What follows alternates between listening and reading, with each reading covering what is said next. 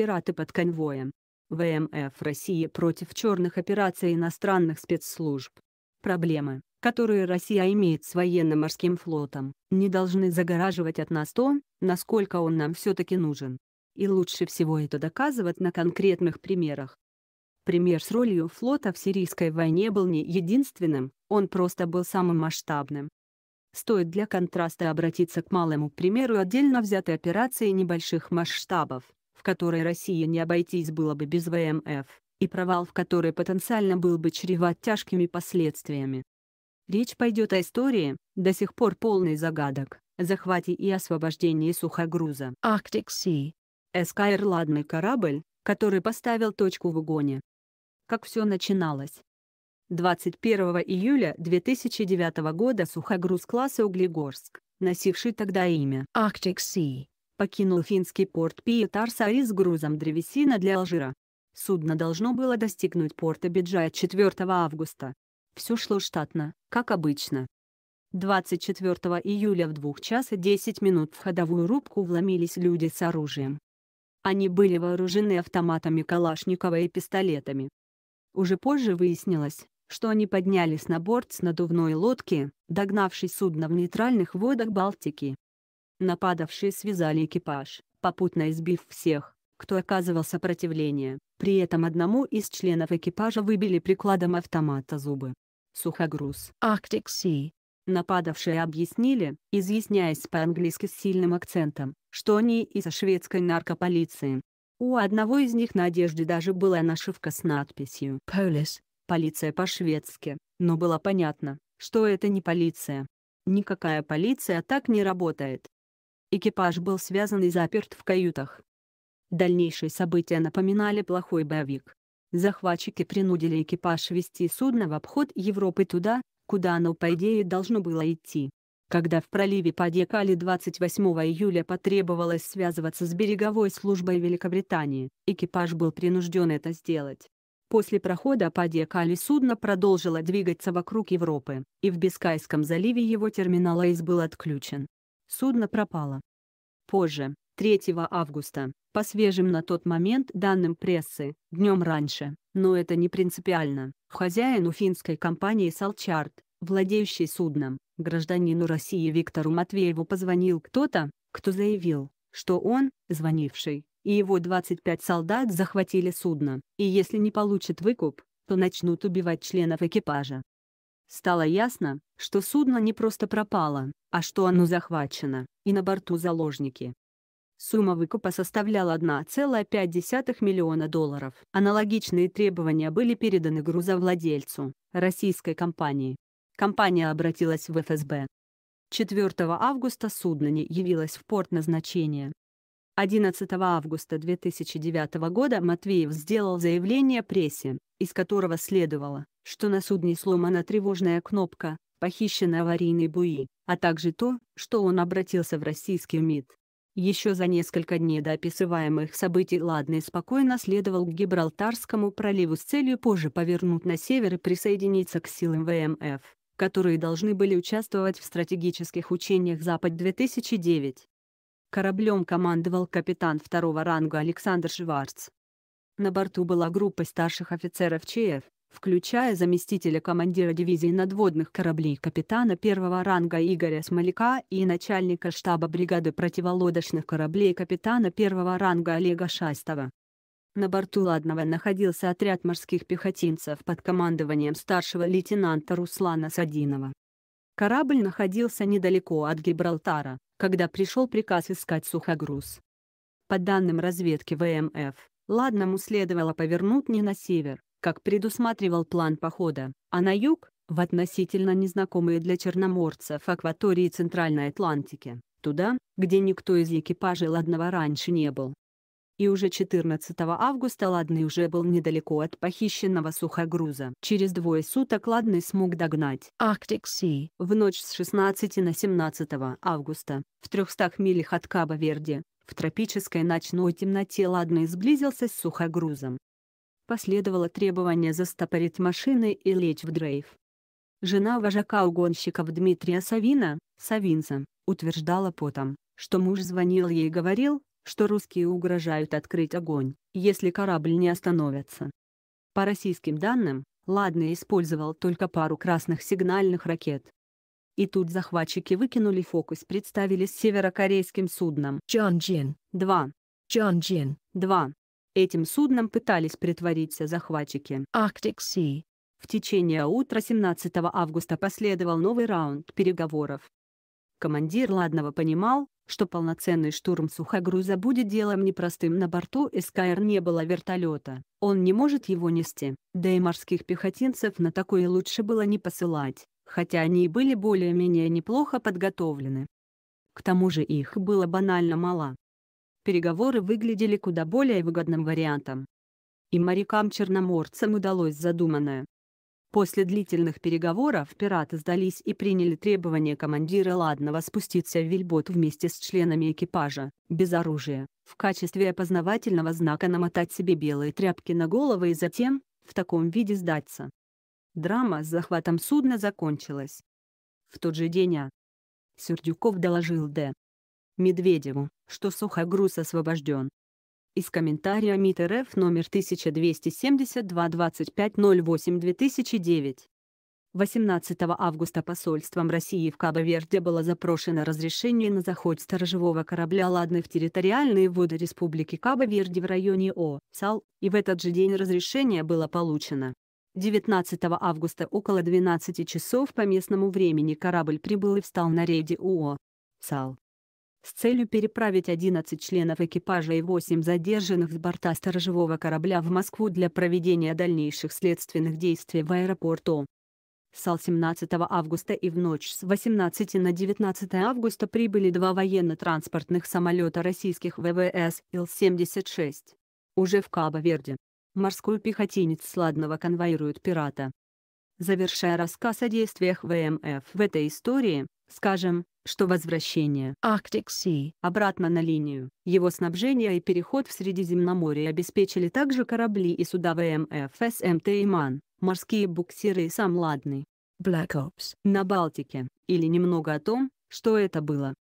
Следствие не смогло до конца раскрыть, кто стоял за угонщиками. Сами они рассказывали бредовые версии, никак не соотносящиеся с реальностью. Таким образом, очевидно, что банда была использована в темную. Они знали минимум, позволявший им выполнить захват и угон судна, но, по всей видимости, не представляли, что им делать дальше.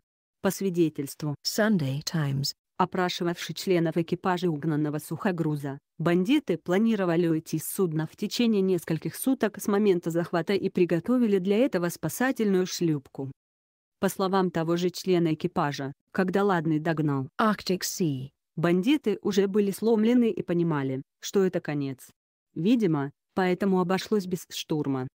Тем не менее, следствию удалось установить одного из организаторов захвата. Им оказался бывший руководитель Бюро по координации безопасности Эстонии, эстонская спецслужба, Эрик Нилис Кросс. В начале 2012 года Кросс был объявлен в международный розыск. Впрочем, есть версия, что он тоже был использован в темную.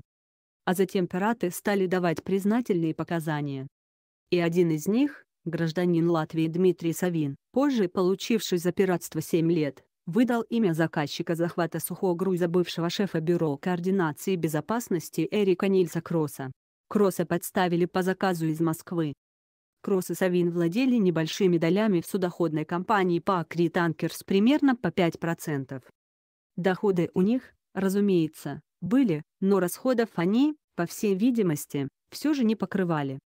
И однажды Кросс якобы сообщил Савину, что им можно было бы вместе неплохо заработать.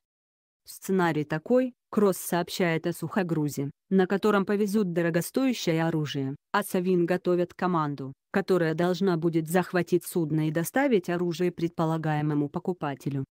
Вот тут-то в истории вновь появляется фигура бывшего шефа КП Алекса Дрисена.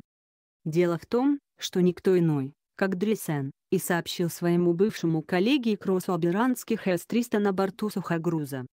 Со слов Дрисена, у него имелся и покупатель. Дело было за малым осуществить захват судна и увезти его к месту будущей сделки. На этом самом месте Кросс и превратился из эстонского разведчика, тогда кучавшего в Москве, в международного пирата. Разумеется, Дресин прекрасно знал о том, что никаких С-300 на борту Арктикси нет и быть не может. Знал он и о том, что Кросс ни на минуту не усомнится в информации, предоставленной столь высокопоставленной персоной. И Кросс охотно заглотнул наживку, даром что готовили его именитые британские и американские разведчики. К вящей радости российской разведки. Разумеется, о роли Дресина в грязной истории с пиратом-разведчиком Кроссом эстонские власти осведомлены теперь, после провала бывшего шефа КАПО. По этой причине в Таллине провели свой суд над Кроссом, и сторону бывшего шефа разведки заняли эстонский прокурор Лавли Лебе депутат парламента Марка Михкесон. Якобы центральная роль Кросса вызывает сомнения. Хотя он, безусловно, причастен. Что мы знаем точно. Организатором захвата, видимым, был, по всей видимости, бывший высокопоставленный руководитель эстонских спецслужб Эрик Кросс. Кросс ранее имел большой опыт совместной работы с американцами, в том числе в Ираке. Им были набраны исполнители, не имевшие ранее опыта в подобного рода делах. Но они легко справились с захватом судна. Если кто-то не понимает значения этого факта, то пусть попробует в открытом море загнать корабль на моторной лодке, даже видя его на терминале АИС, скрытно подойти к борту и на ходу залезть на него с оружием. Заметим, что лодку надо было туда еще как-то доставить, как и оружие.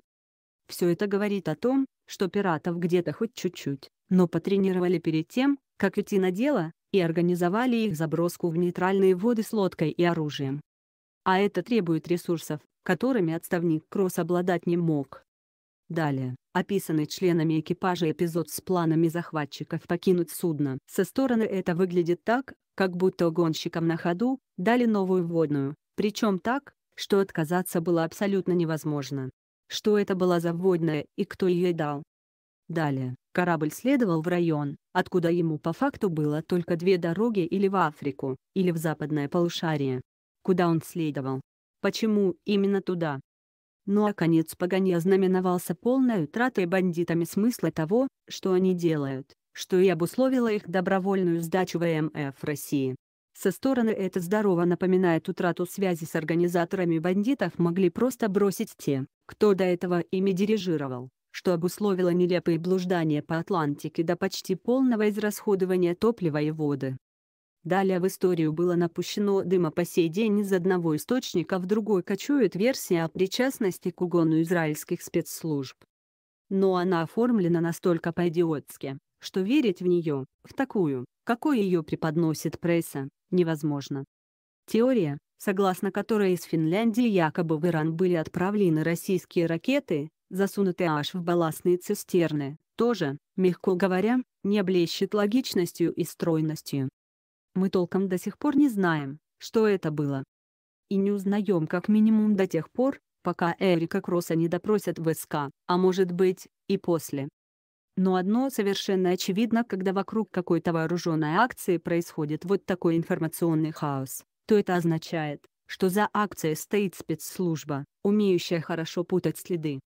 Спецслужба, способная обучить банду террористов, снабдить ее автоматическим оружием, вывести ее в нужный район моря, высадить на лодку с оружием и боеприпасами, заставить уже после захвата судна, когда назад дороги нет, действовать по какому-то другому плану, а потом запутать все следы так, что и концов не найти. Захват судна Arctic Sea был частью какой-то черной операции, о полном плане которой мы можем только догадываться.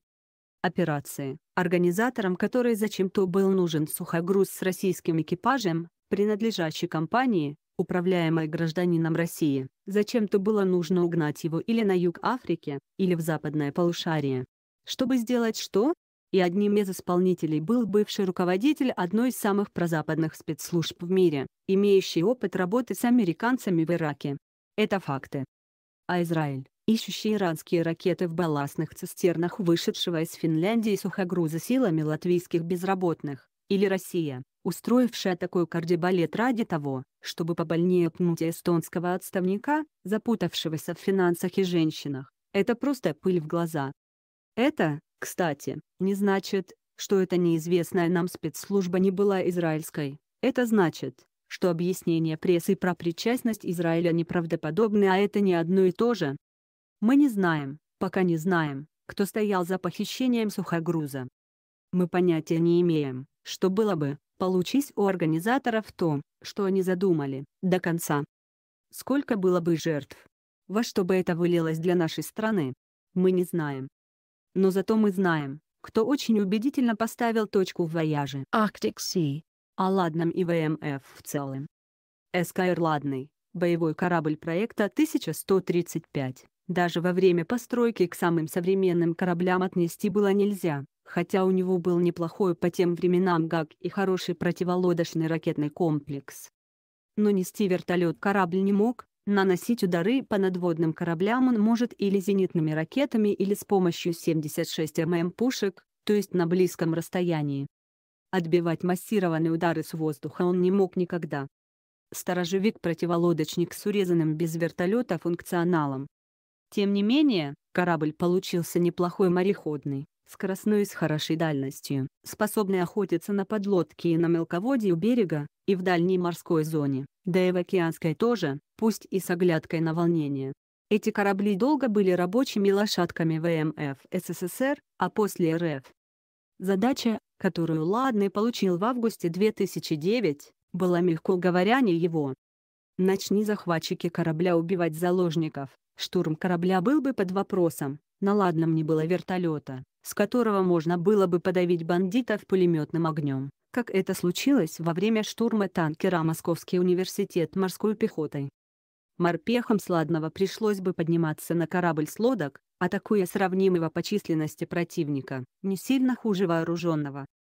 Потом, когда сухогруз освободили, матросам, предоставившим членам экипажа свои койки, пришлось жить на боевых постах другого места не было.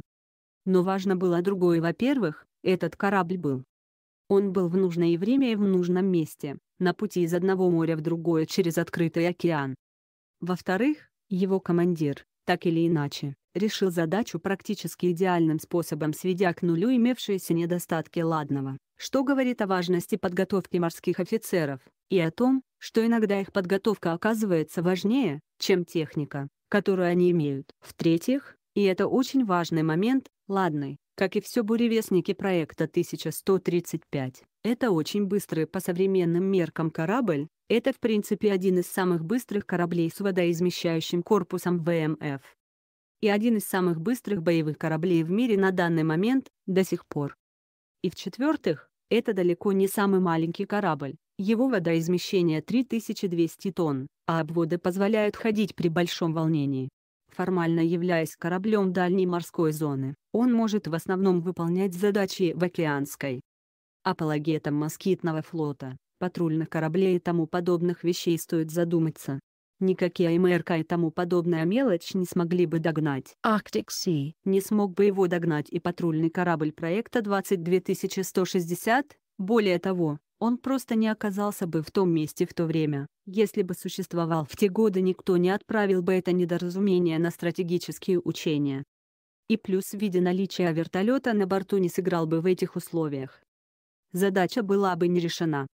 А она была вполне реальной, и нет никаких гарантий того, что в каких-то вариациях она не повторится в том или ином регионе планеты. Что мы делали бы с полностью прибрежным флотом в 2009 Что мы будем делать с ним, если в будущем такой захват повторится?